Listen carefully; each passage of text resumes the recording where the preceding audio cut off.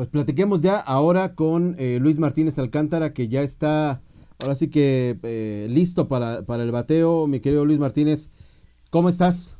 Bien, Felipe, muchas gracias. Buenas tardes. Eh, Angie, buenas tardes. Hola, buenas tardes, Luis. Pues también compartirles a nuestro auditorio que ya tenemos corresponsal en Argentina. Así es, así es. Ya, ya está. Vamos a, vamos a tratar. En lo que nos comentas, quieres, Luis, vamos a tratar de poner el audio que nos mandó eh, nuestro compañero allá en Argentina, eh, Raúl García, para que lo, lo puedan escuchar. déjame ver, déjame ver si lo podemos poner de una vez, mi querido Luis. Dame un segundo. Sí, claro. Hola, soy Raúl García, reportando desde Argentina para Talentos que Suman. Datos aquí en la Argentina confirmados, son 5.208 casos, 273 fallecidos, de alta 1.601.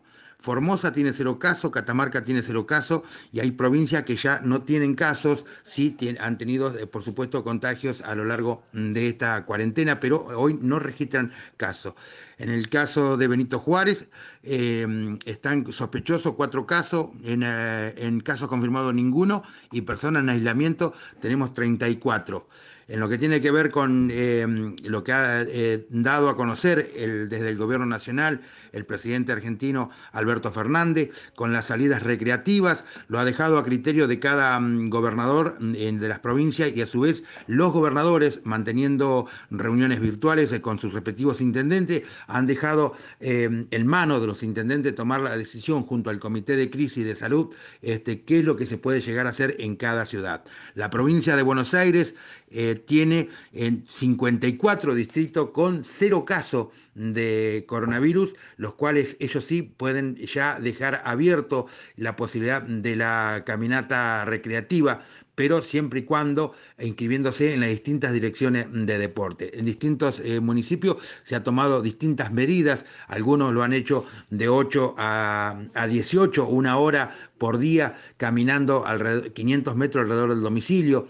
Otros han tomado la determinación, en el caso de Benito Juárez, hacer primero una una inscripción previa en la Dirección de Deportes, allí en ese lugar, y a partir del lunes 11 de mayo se va a caminar una hora los lunes, miércoles y viernes, las personas entre 18 y 60 años, los días martes y jueves, aquellos chicos entre 4 y 12 años, acompañados por supuesto de un mayor, y los de 12 a 18, que son eh, preadolescentes y adolescentes, van a poder caminar solo. Lo que ha determinado eh, la Dirección de Deporte, el municipio de Benito Juárez y el Comité de, de, Salud es que aquellas personas que caminen junto a sus hijos los días martes y jueves no lo pueden hacer lunes, miércoles y viernes.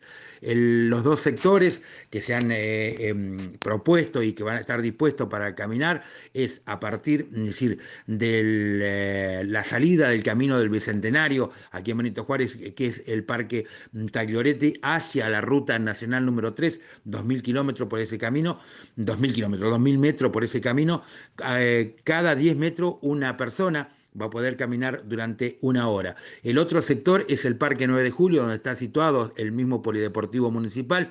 Allí también se van a poder eh, caminar en los mismos horarios, en los mismos días, pero mm, eh, la ciudad quedó dividida en dos partes. Desde Avenida Urquiza, San Martín, hacia el oeste, van, hacia, eh, van a caminar en el camino del Bicentenario desde la avenida eh, San Martín, Urquiza, hacia el este, van a caminar en el Parque 9 de Julio, donde se encuentra, por supuesto, el Polideportivo Municipal.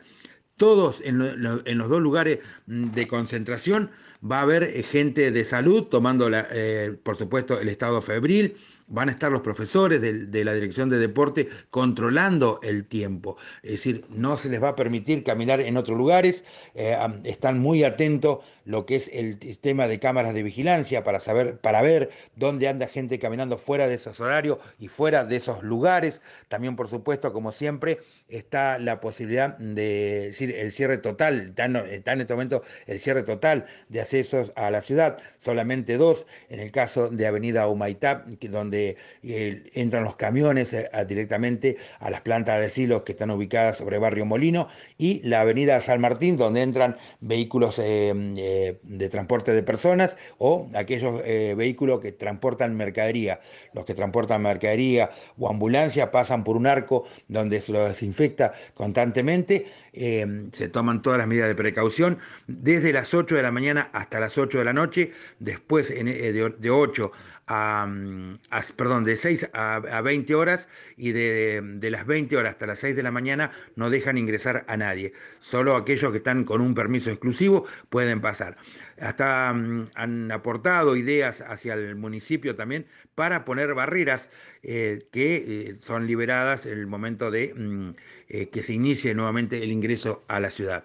Aquí en Juárez, este, gracias a Dios, no hay caso, no hay solamente en estos días que estos cuatro casos sospechosos, pero porque vinieron de de, otras ciudades y eh, cuando reportaron en el lugar de, ingreso a la ciudad de Juárez, han reportado fiebre, aparentemente hoy iban a estar alrededor de las 22 horas los resultados, así que para mañana ya vamos a ver si son confirmados o descartados.